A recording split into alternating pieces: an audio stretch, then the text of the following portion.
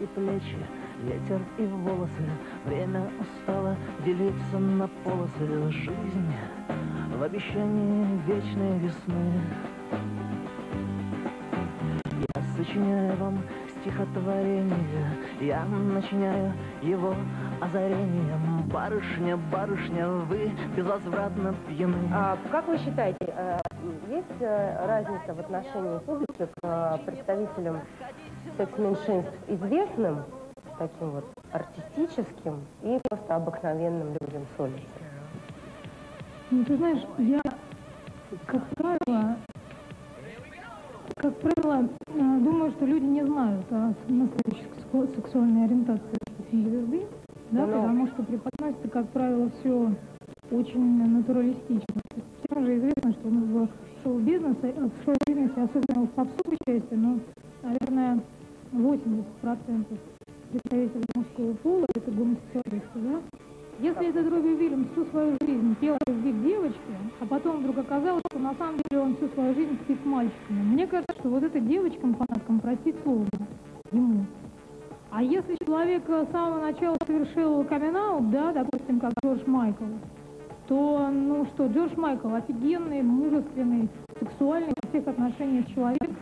И ну, то, что все знают, что он гей, по-моему, его сексуальность не делает меньше. Он, он не менее сексуально привлекательный. Павел, По-моему, а схема это вы, вы, самое как, вы как счастливый представитель тех 20%, которые не все-таки относятся к сексуальным меньшинствам в шоу-бизнесе. Что думаете?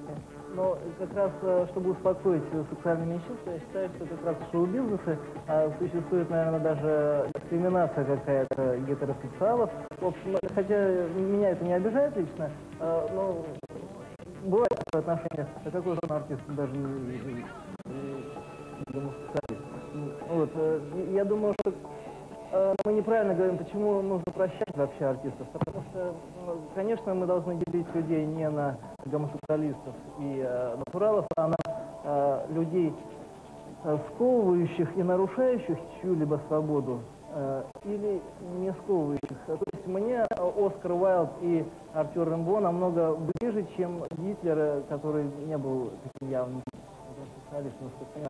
Тему однополой Так же, как э, сложно определить, где порно, где эротика и где э, мультфильм, то также сложно э, определить э, наши отношения с другими людьми. Нужно развивать сердце, нужно просто иметь больше любви в сердце. Вот и все.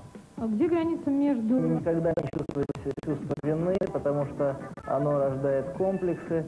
Когда человек закомплексован, ему сразу хочется доказать другим людям что-то.